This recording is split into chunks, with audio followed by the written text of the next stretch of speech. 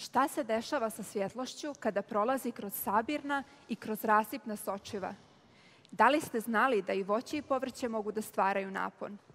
Milisav Šćepanović, Marko Manojlović i Dimitrije Raonić će nam kroz seriju jednostavnih eksperimenata prikazati osnovne zakone prirode.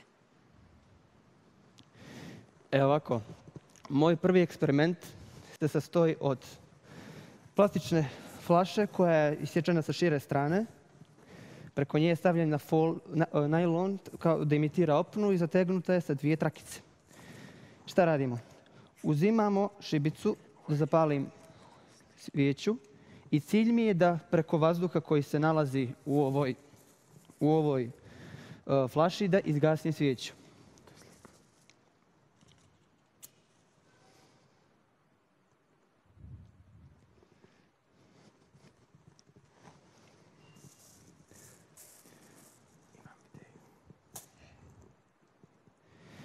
Izgasi se svijeću zato što se pritisak, kako kaže Paskalov zakon, u gasovima i tečnim, u tečnostima širi ravnomjerno na sve strane.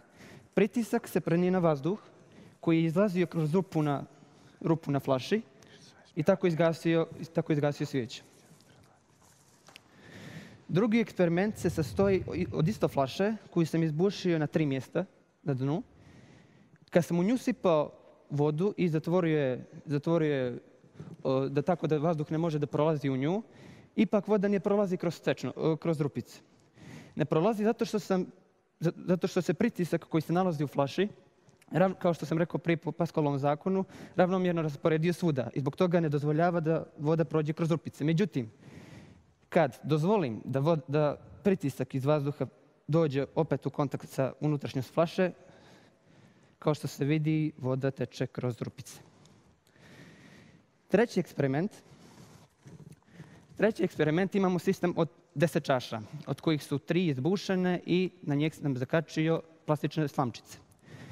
Poenta je da sipam vodu iz ove čaše u gornju i da, se, i da cijela voda se dođe do zadnje.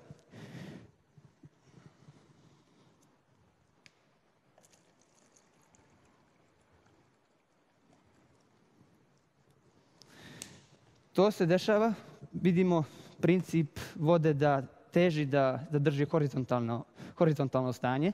Kad voda pređe brijeg na slamčici, ona će, se, ona će otičati sve do kraja, kraja gornjeg dijela slamčice, zato što se donji dio slamčice nalazi na nižem nivou nego gornji. To se primjenjuje na svaka, svaki tip, uh, na sve, boc, na sve čaše, dok se konačno ne dođe do zadnje.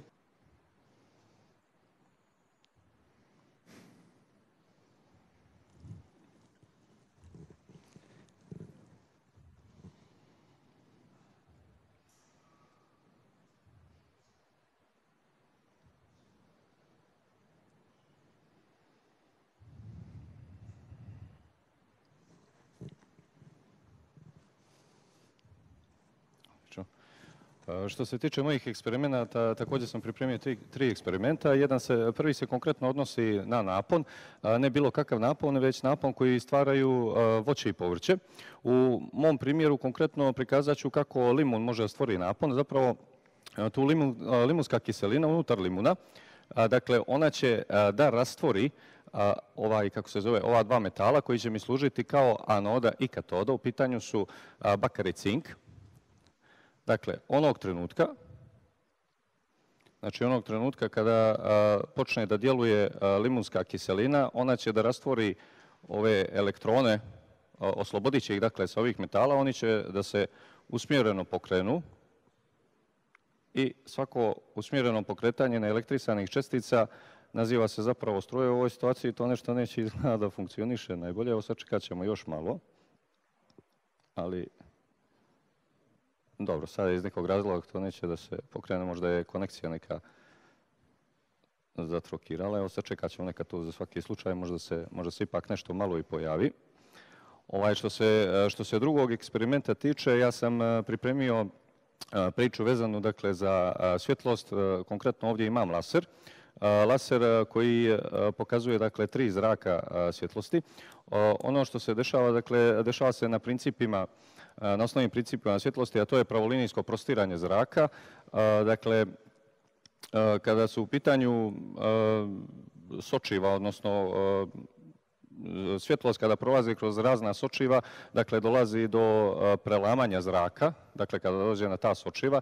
E sad, zavisnosti od vrste sočiva, oni mogu biti sabirna i rasipna, to znači da se, ako se kroz sabirna sočiva svjetlost propusti, onda će se zraci bukvalno približiti i ukrstiti jedan prema drugom, a kad su rasipna sočiva u pitanju, onda će isti ti paralelni zraci da se rasipaju. Gdje se to primjenjuje? Najviše se primjenjuje dakle, u optici kod kratkovidih i dalekovidih ljudi. Znači, oni koriste kao naočare, za, za naočare koriste ta sočiva. A ako su sabirna sočiva u pitanju, onda su ljudi kratkovidi, oni koriste sabirna sočiva. Dakle, kada zraci prođu kroz sočivo, oni onda prolaze kroz oko, koje također predstavlja sistem sočiva i kao takva onda će da pogode tačno onu mrlju koju treba da bi ljudi realno vidjeli, realno vidjeli likove. Dakle, ovo sam sad ovaj, primijenio sabirno sočivo. Vidimo kada svjetlost prođe kroz sabirno sočivo da se oni odmah i ukrštaju. Međutim, kada svjetlost prođe kroz rasipno sočivo, vidimo da se ti zraci bukvalno rasipaju. Dobro. To je to što se tiče ovog eksperimenta i na kraju pripremio sam hidrauličnu mašinu, odnosno hidrauličnu presu kako je najviše nazivaju. Razlog zašto se ona pravi i primjenjuje jeste što sa malim pritiskom, odnosno malom silom ako djelujemo na manju površinu klipa možemo podignemo teret mnogo veće mase nego što samo ako mijenjamo dodirnu površinu. Dakle, ako je dodirna površina tijela mnogo veće mase, mnogo veća, onda možemo i da ga pomjerimo sa manjom silom, što ćemo sad i prikazati. Ono što se dešava ovdje jeste, ja i Marko djelujemo na ovaj klip određenom silom i tu dolazi do pritiska koji po Paskalovom zakonu se prenosi ravnomjerno na sve strane i on će u jednom trenutku da se prenese na ovaj drugi klip i na taj način možemo da pomjeramo dakle, odgovarajuće mašine. Ovo se najviše upotrebljava, evo vidite i sami sada u prilogu kod lifta, može i kod e, kočnica kao hidraulična mašina se koristi također i kod raznih mašina, recimo bagera, kipera, gdje god imate da se istovara nekakav teret, vidjet ćete da se i tu primjenjuje e, hidraulična mašina. Ja ću vam prvo pokazati primjer jednog veoma jednostavnog elektromotora za koje nam trebaju šaraf, mali neodimijumski magneti, baterija i žica. Znači u ovom eksperimentu struja teče kroz šaraf i žicu od pozitivnog ka negativnom kraju baterije i kad prislonimo žicu na šaraf, šaraf kao što možete vidjeti počinje da se okreće zato što elektron, električno polje koje teče kroz šaraf stvara magnetno polje, a na to magnetno polje djeluje magnetno polje ovih magneta zbog čega počinje da se okreće.